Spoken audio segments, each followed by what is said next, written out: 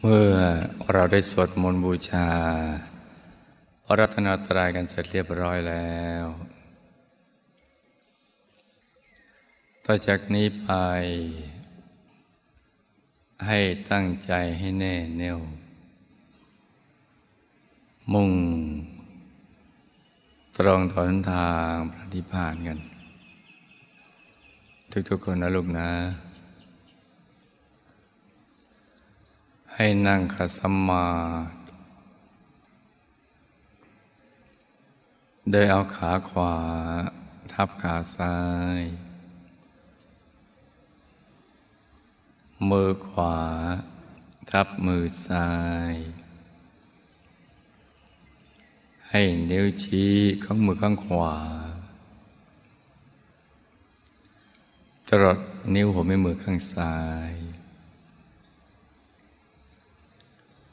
วางไว้บนหน้าตักพอสบายสบาย หลับตาของเราเบาๆคลอดลูก พอสบายสบาย คล้ายกับตอนที่เราใกล้จะหลับนะจ๊ะ อย่าไปบีบเปลือกตา อย่ากดลูกในตานะจ๊ะ หลับตาพอสบายสบายปิมปลิม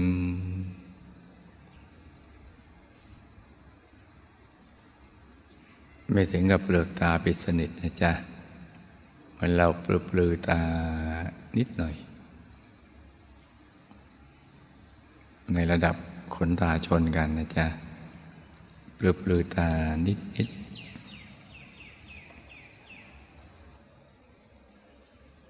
แล้วก็ทำใจของเรานะให้เบิกบาน ให้แช่มชื่น ให้สะอาดบริสุทธิ์ผ่องใสไร้กังวลในทุกสิ่งในจ้า ไม่ว่าจะเป็นเรื่องอะไรก็ตาม ให้ปลดให้ปล่อยให้วาง ให้คลายความผูกพันจากทุกสิ่ง ไม่ว่าจะเป็นเรื่องคนสัตว์สิ่งของธุรกิจการงานบ้านช่อง การศึกษาเราเรียน เรื่องครอบครัว หรือเรื่องอะไรที่นอกเหนือจากนี้นะจ๊ะ ให้ปลดให้ปล่อยให้วาง ให้คลายความผูกพัน จากทุกสิ่ง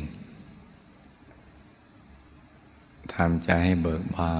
นอย่างเดียวนะจ๊ะ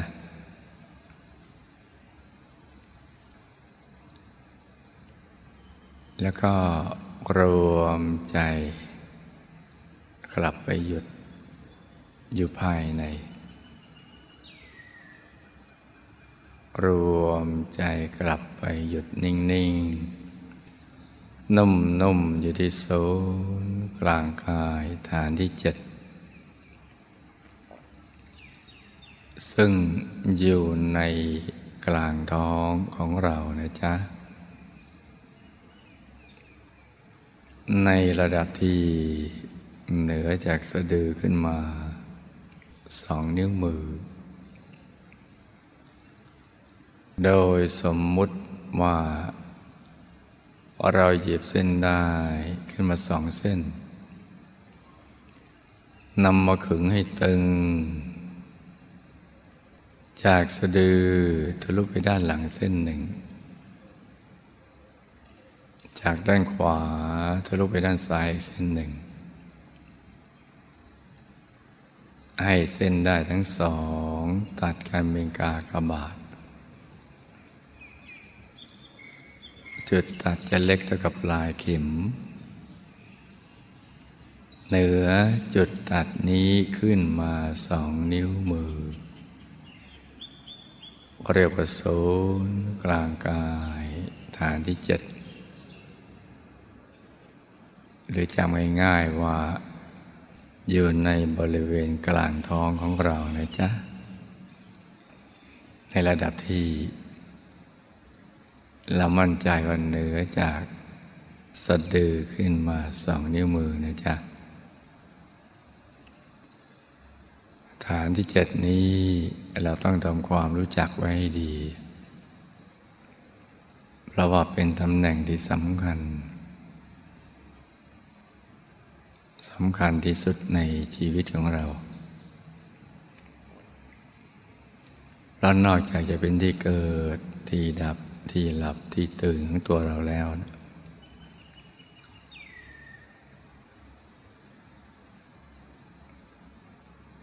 ยังเป็นต้นทางไปสู่อายตนะนิพพานนะจ๊ะ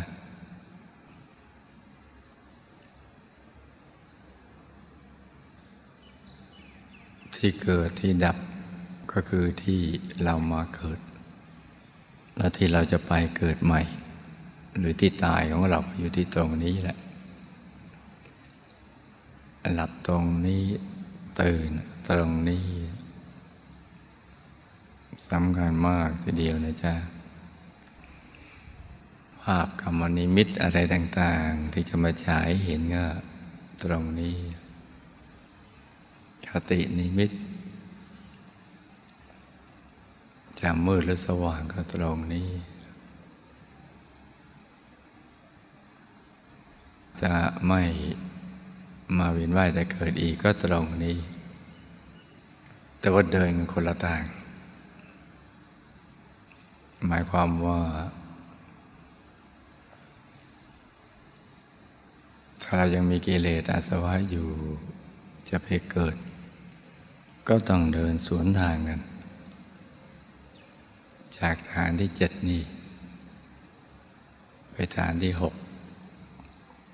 ในระดับเดียวกับสะดือ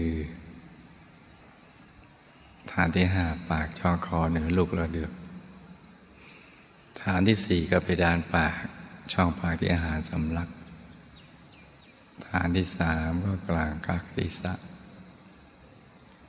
ฐานที่สองก็หัวตาหญิงซ้ายชายขวา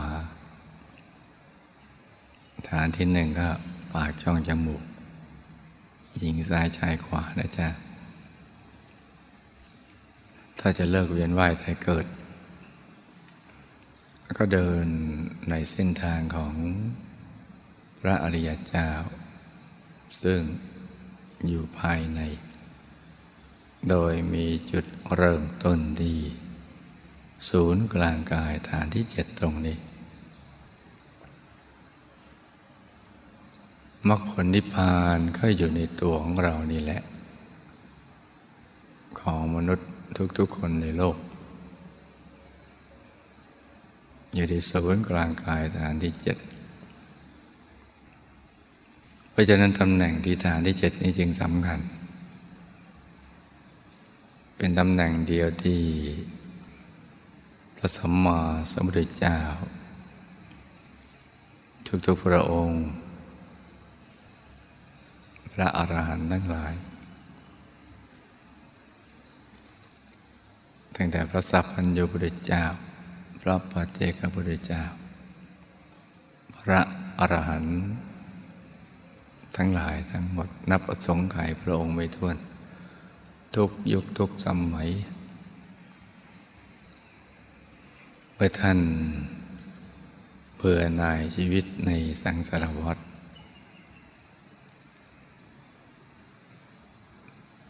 เพราะว่าเป็นชีวิตที่ไม่ปลอดภัย ยังต้องเวียนว่ายตายเกิด ตกอยู่ภายใต้กฎแห่งกรรม กฎไตรลักษณ์และกฎเกณฑ์อีกหลายๆอย่าง เมื่อชีวิตไม่ปลอดภัยจากอบาย จากความไม่รู้อะไรต่าง ๆ เหล่านี้เนี่ยและกฎเกณฑ์ต่างๆนั้นกล่าว ท่านก็เบื่อหน่ายที่จะเวียนว่ายตายเกิด ในภพทั้งสามนี้ คือการมาพบรูปภพ แล้วก็อารูปภพ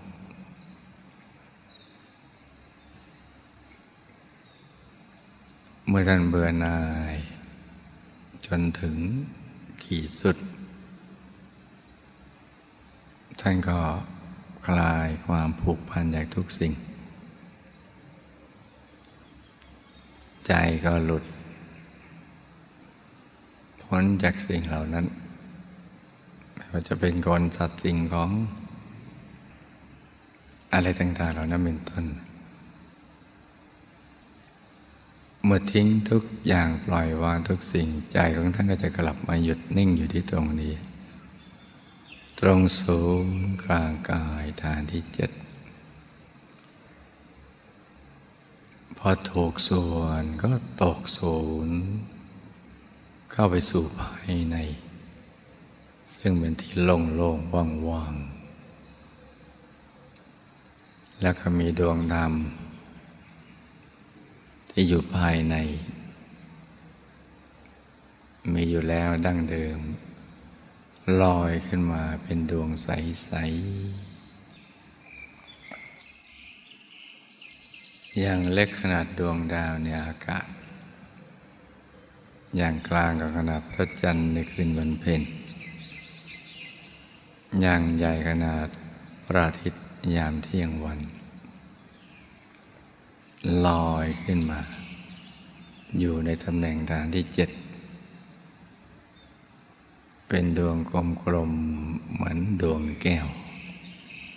ที่เจรไนแล้วนะจ๊ะ แล้วก็ใสบริสุทธิ์ประดุดเพชรลูกที่เจรไนแล้วไม่มีตำหนิเลย สว่างเหมือนดวงอาทิตย์ ยามเที่ยงวัน แล้วก็ใสเย็น เย็นสบาย คล้ายแสงจันทร์ในคืนมันเป็น มาพร้อมกับความสุขที่ไม่มีประมาณ ความบริสุทธิ์ของใจ ที่ไม่เคยเกิดขึ้นมาก่อน ใจเป็นอิสระภาพ จากความผูกพันจากทุกสิ่ง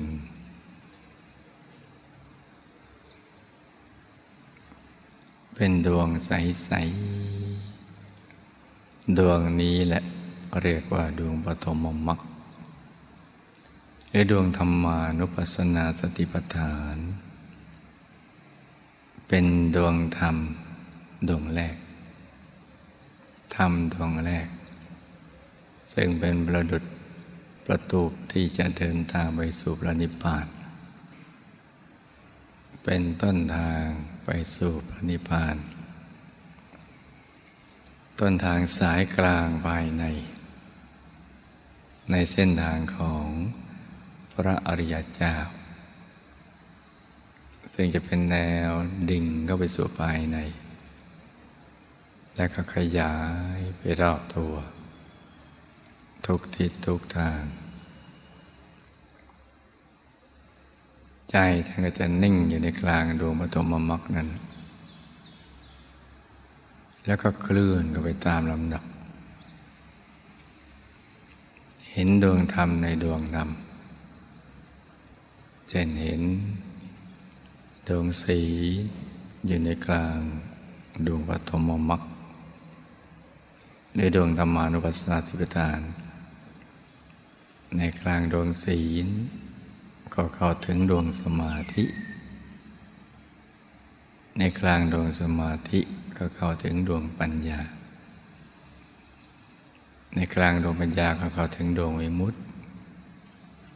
ในกลางดวงวิมุตติก็เข้าถึงดวงวิมุตติญาณทัศนะ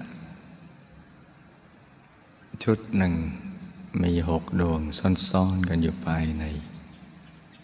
เป็นของมีอยู่แล้วดั้งเดิมอยู่ภายใน เป็นธรรมที่จะเป็นจุดเชื่อมให้เราเข้าไปถึงกายภายใน ชีวิตภายในที่เราไม่เคยรู้มาก่อน เป็นชีวิตที่ซ่อนๆกันอยู่ เป็นกายภายใน แต่งแต่กายมนุษย์ละเอียดซ่อนอยู่ในกลางกายมนุษย์หยาบ กายทิพย์หยาบละเอียดซ่อนอยู่ในกลางกายมนุษย์ละเอียด กายระบบผมก็ซ่อนอยู่ในกลางกายทิพย์กายอะรูปปลมก็ซ่อนอยู่ในกลางกายรูปปลม กายธรรมซ่อนอยู่ในกลางกายอารูปปลมตั้งแต่กายธรรมโคตภูนาตักยันก็ห้าวานิดหน่อย ในกลางกายธรรมโคตภูก็จะมีกายธรรมประโสดาบันนาตักห้าวาสูงห้าวากลางกายธรรมโสดาบันก็มีกายธรรมพระสกิทาคามี น้าตักสิบวาสูงสิบวาซ้อนอยู่ ในกลางกายธรรมพระสกิทาคามีก็มีกายธรรมพระนาคามีหน้าตักสิบห้าวาสูงสิบห้าวาซ้อนอยู่ ในกลางกายธรรมพระนาคามีก็มีกายธรรมพระอรหันต์น้าถักยี่สิบวาสูงยี่สิบวาซ้อนอยู่ แต่ละกายก็จะมีเป็นคู่กัน เป็นหยาบเป็นกายละเอียด เหมือนกายมนุษย์หยาบ แล้วก็มีกายมนุษย์ละเอียดซ้อนอยู่ รวมแล้วทั้งหมดสิบแปดกาย มีอยู่ภายในตัวของเรานี่แหละ เพราะฉะนั้นทางมรรคผลนิพพานนั้นนะมีอยู่ในกลางกายของเรา โดยมีจุดเริ่มต้นที่ศูนย์กลางกายฐานที่เจ็ด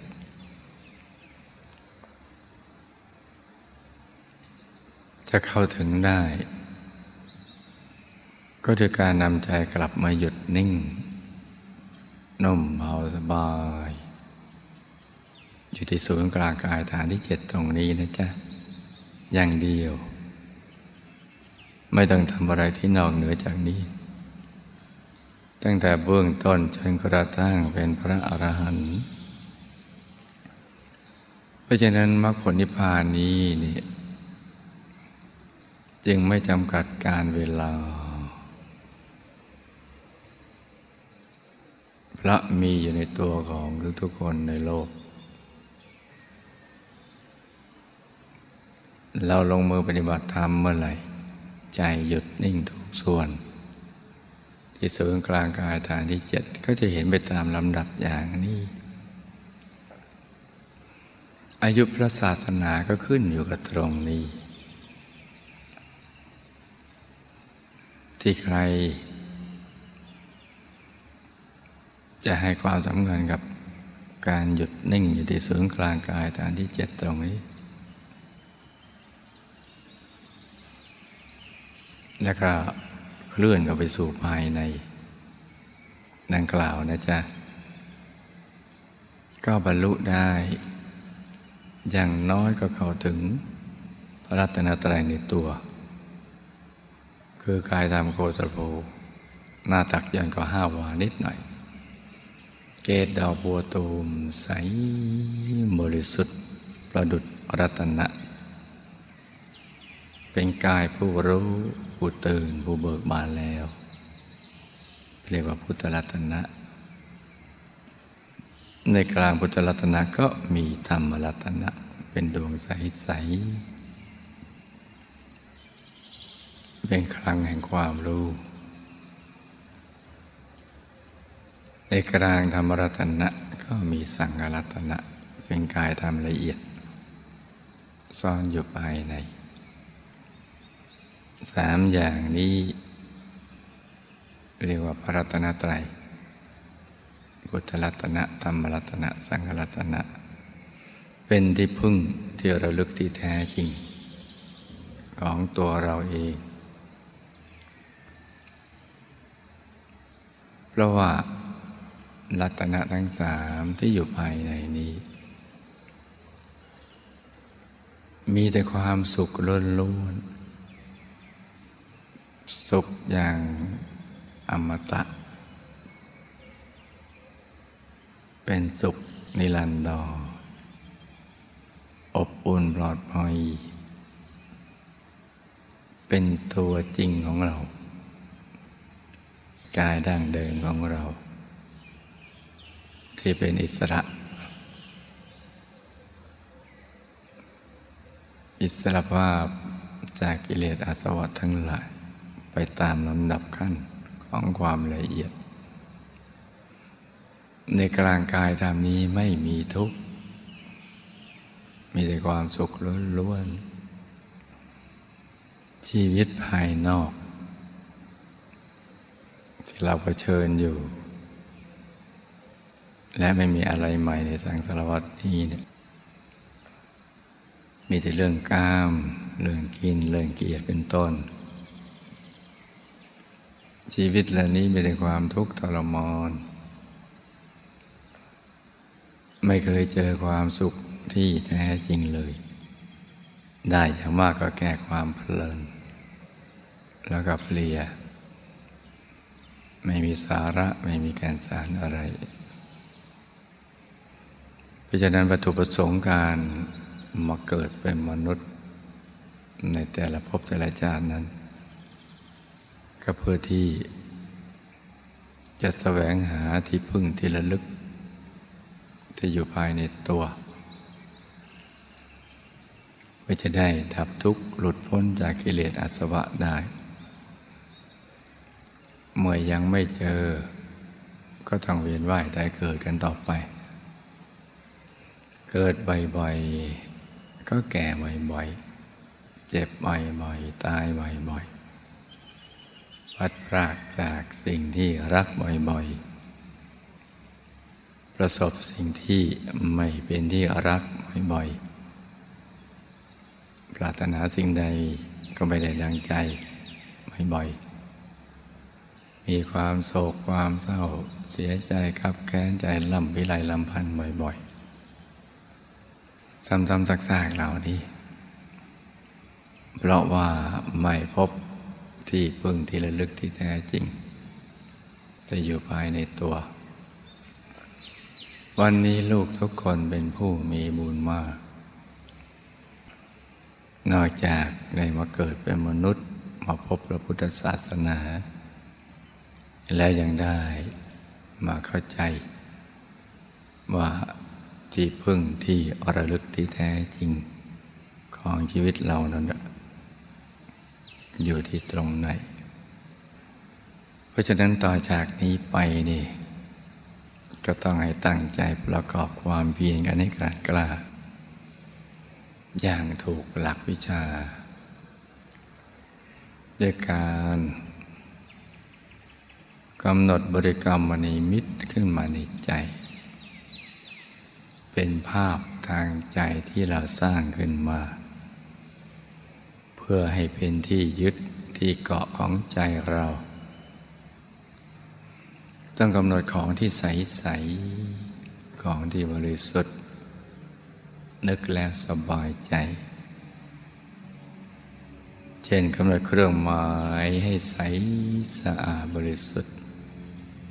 เป็นเพชรสักเม็ดหนึ่ง โตขนาดไหนก็ได้ ที่เราจะนึกได้ง่ายๆ เช่นโตเท่ากับแก้วตาของเรา หรือโตใหญ่กว่านั้น เท่าลูกมะนาวบางอย่างนี้เป็นต้น ให้กำหนดบริกรรมนิมิตคือนึกขึ้นมาในใจ เป็นภาพทางใจอย่างสบายสบาย ต้องนึกง่ายๆสบายสบายให้ตรึกนึกถึงดวงใส แล้วก็เอาใจหยุดอยู่ในกลางดวงใสๆที่ศูนย์กลางกายฐานที่เจ็ดในกลางท้องของเรา ในระดับที่เนื้อจากสะดือขึ้นมาสองนิ้วมือ พร้อมกับประคองใจให้หยุดนิ่งได้บริกรรมภาวนา ในใจเบาๆโดยเสียงคำภาวนาเป็นเสียงที่ละเอียดอ่อน ทางออกไปจากในกลางท้องของเรา ภาวนาว่า สัมมาอรหัง สัมมาอรหัง สัมมาอรหัง ทุกครั้งที่ภาวนาสัมมาอรหัง เราก็จะต้องไม่ลืมตรึกนึกถึงดวงใส ใจหยุดอยู่ในกลางดวงใสใส อย่างเบาๆสบายๆ ผ่อนคลาย ใจเย็นเย็นอย่าไปบีบไปเค้นภาพ อย่าไปเน้นภาพขึ้นมา นึกได้แค่ไหน ก็เอาแค่นั้นไปก่อน เช่นนึกได้ชัดเจนแค่ห้าเปอร์เซ็นต์สิบเปอร์เซ็นต์ก็เอาแค่นั้นไปก่อน แล้วก็ค่อยๆประคองใจ ให้หยุดนิ่ง อยู่ที่ศูนย์กลางกาย ฐานที่เจ็ดตรงนี้นะจ๊ะ สัมมาอรหัง สัมมาอรหัง สัมมาอรหัง ภาวนากี่ครั้งก็ได้ จนกระทั่งใจหยุดนิ่ง มื่อใจหยุดนิ่งแล้วมันก็จะทิ้งคำภาวนาไปเอง หรือเกิดความรู้สึกว่าไม่อยากจะภาวนาสัมมาอรหังอีกต่อไปไม่ได้เกิดความรู้สึกอย่างนี้ เราก็ไม่ต้องภาวนาสัมมาอรหัง อีกต่อไปนะจ๊ะ แต่ว่าเมื่อใดใจฟุ้งไปคิดเรื่องอื่น เราจึงย้อนกลับมาภาวนาสัมมาอรหังใหม่ ให้ประคับประคองใจกันไปอย่างนี้ จนกว่าใจจะหยุดนิ่งนะจ๊ะ เช้านี้อากาศกำลังสดชื่น แจ่มใสเย็นสบาย เหมาะสมที่ ลูกทุกคนซึ่งเป็นผู้มีบุญ จะได้ประกอบความเพียรให้กลั่นกล้า อย่างถูกหลักวิชา ก็ให้ตั้งใจประคับประคองใจกันไป ขอให้ลูกทุกคน สมหวังดังใจ ในการเข้าถึงพระรัตนตรัยในตัว ทุกๆคนนะลูกนะ ต่างคนต่างนั่งกันไปเงียบๆนะจ๊ะ